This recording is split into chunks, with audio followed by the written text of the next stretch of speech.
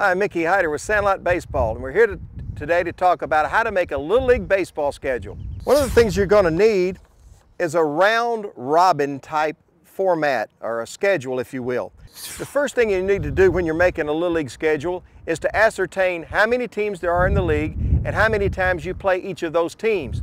In some leagues you may play each team only once, some leagues you may pay, play them twice or three times or more depending on the number of teams in the league.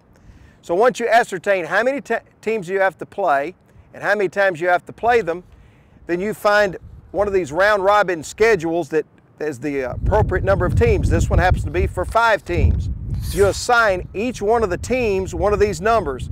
Uh, the Orioles could be one, the Yankees could be two, the Braves could be three, and so on.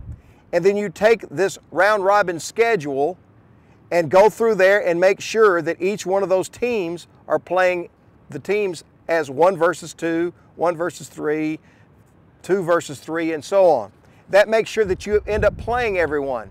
If you have to play them more than one time, after you get through this entire round robin schedule, then you just repeat it and repeat it as many times as necessary.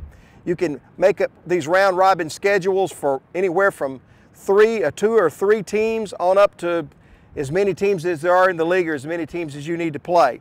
But make first sure that you understand how many teams there are, how many times you're supposed to play them, and then you get make yourselves or find one of these round robin type schedules, assign a team to a number, and then just follow the schedule. Make sure that you check with your league representative to make sure that you have the appropriate field times and that you have field availability so when you make your schedule with that person that you can make sure that you have some place to go play and that officials are going to be assigned and all those other details that we need to make sure that we have both teams there.